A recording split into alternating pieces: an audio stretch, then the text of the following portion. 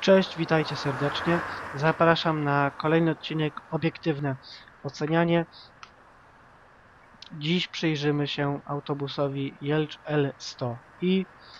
Y, Autobus y, w wersji zmodyfikowanej, wersji ulepszonej, y, ulepszonej przez osobę z zagranicy, Oniku Oleg Saw.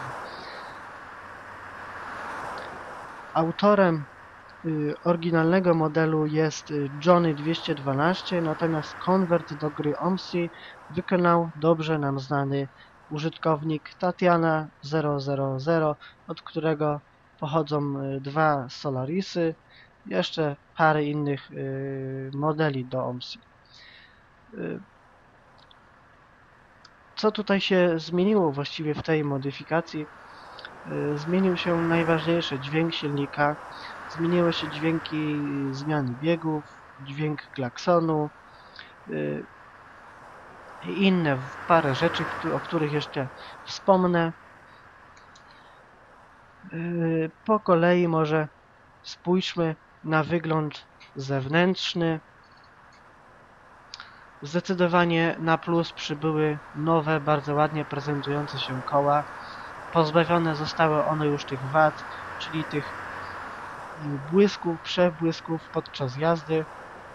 Za to prezentują się te, teraz, przepraszam bardzo, prezentują się teraz on, y, one mm, bardzo ładnie.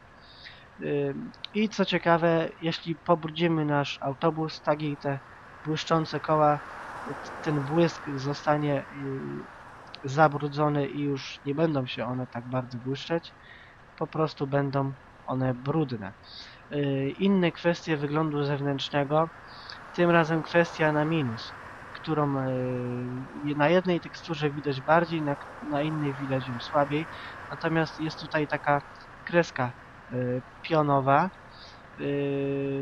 Wygląda to nie, nie bardzo tak nie, nie estetycznie i sugeruje jakby tutaj autobus był połączony z, z dwóch części w jedną całość. Natomiast inne, mm, innych błędów tutaj raczej nie zauważamy.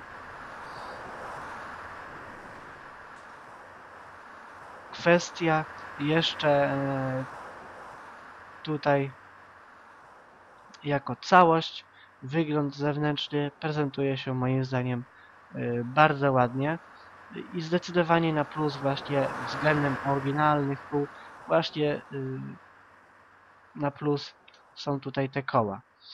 Y, Kwestia związana z wnętrzem, wygląd wnętrza, przedział pasażerski najpierw.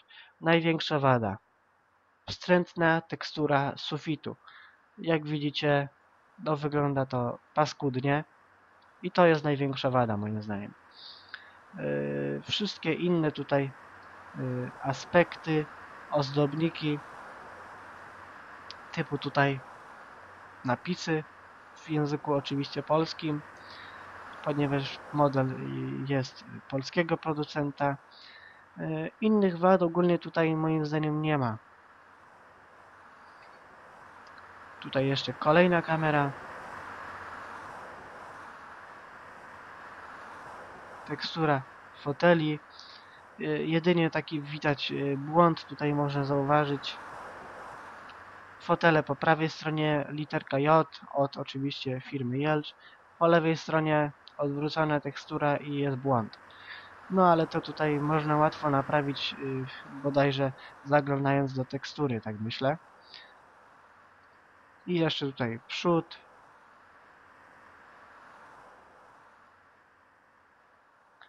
Tutaj wnętrze, największa wada, sufit. Samo stanowisko kierowcy. Wykonanie bardzo ładne moim zdaniem. Bardzo dobrze się prezentujące. Co ciekawe, kamery, które tutaj mm, mamy, możemy sobie y, oglądać swobodnie to wszystko, co dzieje się do, dookoła pojazdu. Mamy bardzo ładny widok. Także lusterka zostały bardzo ładnie ustawione. Także właściwie tutaj w tej kwestii nie ma się czego przyczepić. Y, Kwestie wyglądu mamy omówioną. Następna kwestia. Funkcjonalność. Oczyna, oczywiście zaczynamy tak jak poprzednio od y, zewnątrz. Na zewnątrz y, co możemy zrobić, a także po prostu wewnątrz mamy taką możliwość. Możemy otworzyć oczywiście okna, pozamykać je.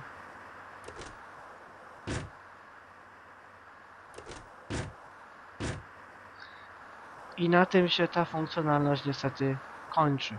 Nie ma tutaj y, żadnych przycisków do jakich, jakiegoś otwierania drzwi awaryjnego, pokręteł, y, żadnych otwieranych klap y, z luku bagażowego, czy chociażby wlew paliwa, czy klapa silnika. Nic z tego typu rzeczy.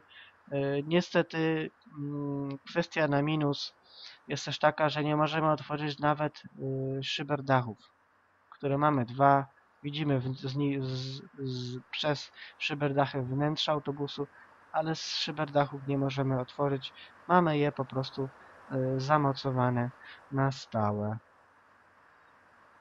Tak się przedstawia funkcjonalność zewnętrzna. Wnętrze, przedział pasażerski, y, okna zostały omówione. Niestety nie działa nawet tutaj y, przycisk, którym y, moglibyśmy sami sobie tak mm, na życzenie zapalić kontrolkę na, do wysiadania na żądanie,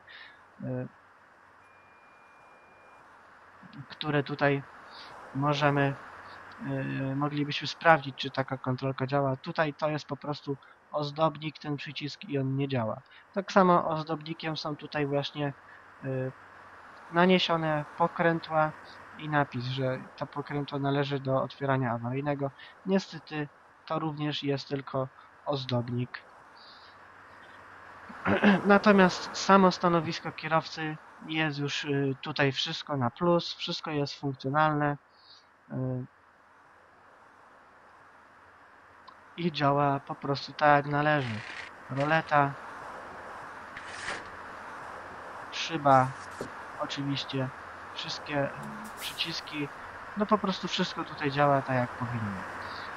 Nie ma tutaj żadnych wad, jedynie moim zdaniem no troszeczkę zbędna rzecz, aczkolwiek mogłaby być, nawet w tej dodatkowej modyfikacji nie, nie, mam, nie ma po prostu animacji drążka zmiany biegów.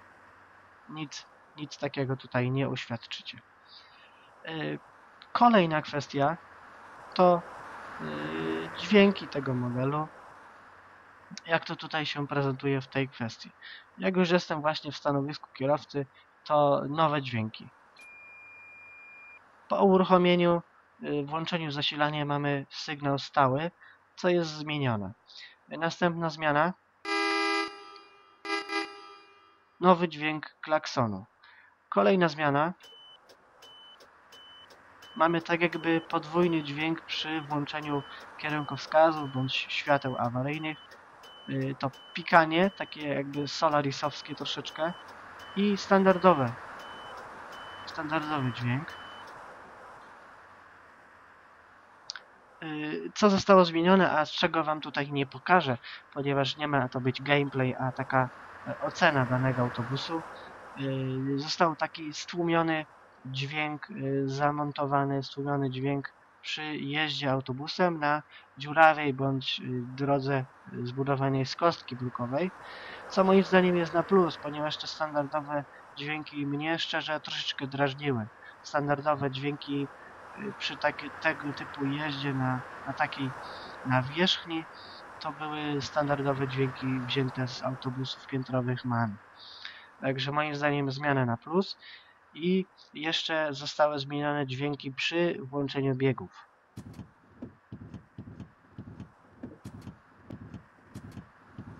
Mam nadzieję, że to słyszycie.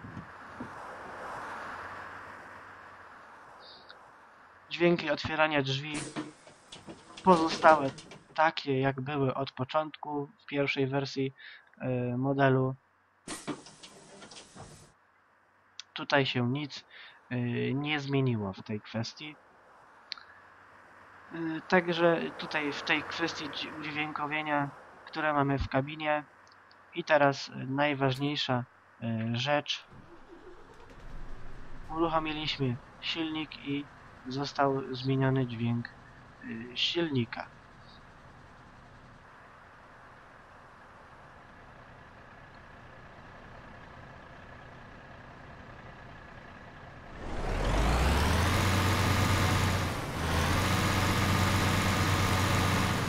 Y, Już Was informuję, jest to y, silnik Iveco, czyli zgodny z oznaczeniem autobusu Jelcz L100i, czyli to i właśnie informuje nas, że jest to silnik Iveco. Jest to największa zmiana moim zdaniem na plus. Ten dźwięk prezentuje się o niebo lepiej od dźwięku standardowego.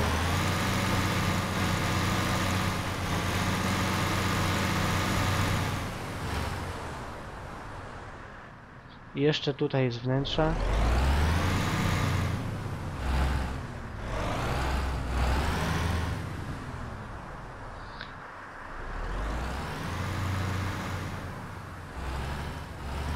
Moim zdaniem fenomenalna zmiana, największa zmiana chyba e, na plus. E, jeszcze kwestia związana tutaj z błędem, który towarzyszył na początku standardowemu autobusowi. Ym, Był błąd związany z otwieraniem pierwszych i drugich drzwi, bowiem używając standardowego przycisku do otwierania pierwszych drzwi był jakiś dźwięk, który dotyczył otwierania drzwi, aczkolwiek nie otwierały się ani pierwsze drzwi, ani drugie drzwi. Teraz yy, to ta komenda chyba, wydaje mi się, została przeniesiona i rzeczywiście po naciśnięciu przycisku, który odpowiada za pierwsze drzwi, bądź właściwie w standardowych manach piętrowych pierwsze skrzydło pierwszych drzwi, otwieramy pierwsze drzwi. Natomiast drugie skrzydło pierwszych drzwi w manach piętrowych otwieramy drugie drzwi. Zostało to zmienione. Drobna modyfikacja, aczkolwiek bardzo cieszy i jest też bardzo na plus, ponieważ wtedy yy, myląc się po prostu i otwierając y, drzwi, które tak naprawdę nie zostały otwarte, nie wiedzieliśmy, czy rzeczywiście mamy te drzwi otwarte, czy zamknięte i w końcu tak naprawdę nie wiedzieliśmy, czy dobrze y, ogrzejemy autobus, czy nie. No tutaj zostało to bardzo ładnie rozwiązane, co mi się też podoba. Y, Także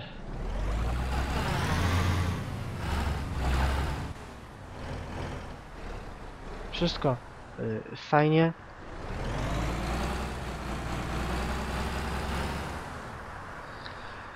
Y, kwestia, która jeszcze nie została zmieniona i chyba już tak po prostu pozostanie, mi się wydaje.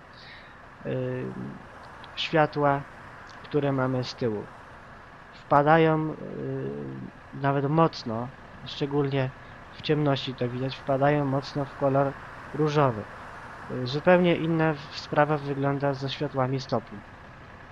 No jest spora różnica. Tutaj mamy już wpadający kolor różowy, natomiast tutaj mamy normalny kolor czerwony.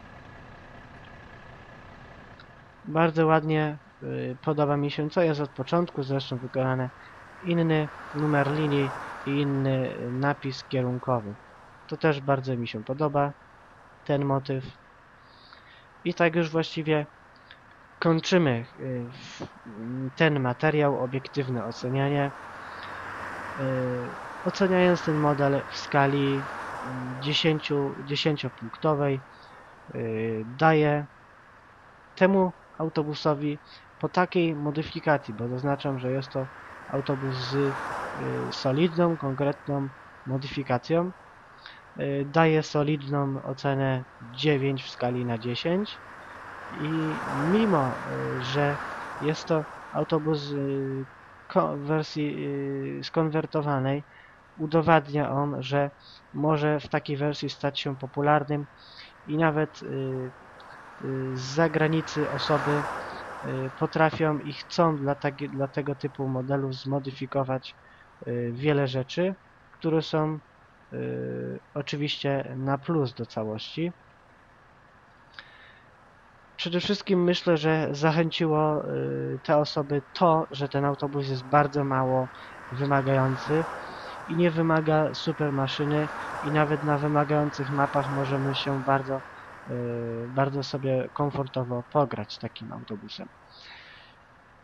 Tak mm, myślę, czy coś jeszcze dodać na temat tego pojazdu? Myślę, że nie. Y, Myślę, że wszystko co najważniejsze zostało powiedziane i myślę, że y, jeśli graliście na standardowym y, Jelczu, to powinniście przesiąść się na autobus z taką modyfikacją. Na pewno myślę nie będziecie żałować, chociażby w kwestii jego udźwiękowienia. To wszystko z mojej strony. Pozdrawiam serdecznie. Zapraszam na mój kanał, gdzie znajdziecie wiele, wiele więcej filmów z gry OMSI, a także z innych gier, materiały, poradniki i innego typu rzeczy. Pozdrawiam serdecznie. Cześć!